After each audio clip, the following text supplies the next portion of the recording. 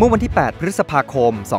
2566 สภาองค์กรของผู้บริโภค หรือสภาผู้บริโภค จัดงานแถลงข่าว เปิดผลทดสอบหมวกกันน็อก ยี่ห้อไหนได้มาตรฐาน เป็นการนำเสนอผลการทดสอบที่ได้จากโครงการ การออกแบบพัฒนาเกณฑ์ประเมิน และทดสอบหมวกนิรภัยรถจักรยานยนต์ ซึ่งสภาองค์กรของผู้บริโภค ร่วมกับศูนย์เทคโนโลยีโลหะ และวัสดุแห่งชาติ หรือ m t e c สวทช ร่วมกันดำเนินโครงการ สภาองค์กรผู้บริโภคจริง ๆ กฎหมายเนี่ยให้เราเป็นผู้แทนผู้บริโภคก็มีหน้าที่ในการคุ้มครองและพิทักษ์สิทธิผู้บริโภค แล้วก็เฝ้าระวังติดตาม ซึ่งนี้ก็ถือว่าเป็นการทำงานเชิงรุกเพื่อที่จะให้ข้อมูลกับผู้บริโภคเพราะฉะนั้นเราถือว่าอันนี้เป็นการทำงานเฝ้าระวังปัญหาที่จะเกิดขึ้นนะคะ แล้วก็สภาเองก็ร่วมมือกับสำนักงานมาตรฐานอุตสาหกรรมที่จะยกระดับให้สินค้าเนี่ยมีมาตรฐานมากขึ้น และโดยเฉพาะมาตรฐานความปลอดภัย ค่ะ ก็เป็นโครงการที่เราร่วมมือกับสภาองค์กรของผู้บริโภคนะครับ เบื้องต้นเลยเนี่ยเราต้องการออกแบบแล้วก็พัฒนาเกณฑ์การประเมินหมวกนิรภัย เพื่อจะนำไปให้ผู้บริโภคเนี่ยเป็น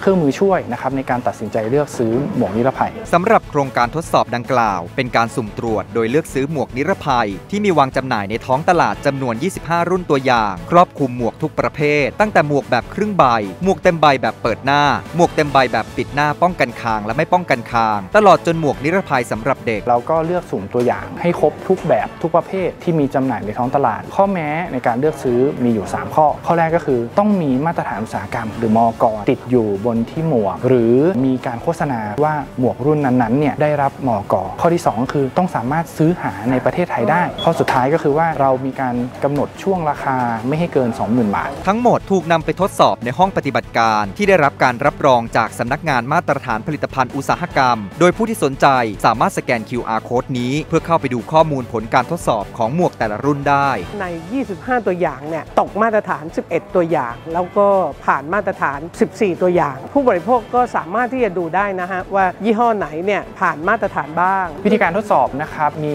3 หมวดใหญ่ๆ ด้านแรกก็จะเป็นเรื่องเกี่ยวกับความสามารถในการปกป้อง passive safety นะครับด้านที่ 2 ก็จะเป็นการทดสอบความสามารถในการป้องกันไม่ให้เกิดอุบัติเหตุหรือว่า active safety ด้านสุดท้ายจะเป็นเรื่องเกี่ยวกับความพึงพอใจในการใช้งาน หรือเราเรียกว่า comfort and fitting 25 รุ่นที่เราทดสอบนะครับก็จะมีอยู่ 11 รุ่นที่เมื่อทดสอบแล้วค่าที่ออกมาเนี่ยไม่เป็นไปตามเกณฑ์มาตรฐานของสมอณปัจจุบันนี้ นอกจากพบหมวกนิรภัยที่ไม่ผ่านการทดสอบมาตรฐานแล้ว สภาผู้บริโภคยังพบปัญหาการแสดงสัญลักษณ์มาตรฐานผลิตภัณฑ์อุตสาหกรรม หรือมอกโดยไม่มี QR code ควบคู่ จึงได้ประสานกับสำนักงานมาตรฐานผลิตภัณฑ์อุตสาหกรรม ซึ่งจะรับไปตรวจสอบมาตรฐานซ้ำอีกครั้ง เราก็หวังว่าวันนี้สำนักงานมาตรฐานอุตสาหกรรม ซึ่งก็มาร่วมแถลงข่าวด้วยเนี่ยจะนำข้อมูลไปดำเนินการอันนั้นเป็นอันที่ 1 อันที่2เนี่ยข้อเสนอต่อผู้ประกอบการ ก็คือหวังว่าผู้ประกอบการที่ยังมีหมวกที่ตกมาตรฐานเนี่ยก็จะปรับปรุง นอกจากนี้ในการถแถลงข่าว ยังมีการเสวนาเกี่ยวกับมาตรฐานความปลอดภัยของหมวกนิรภัย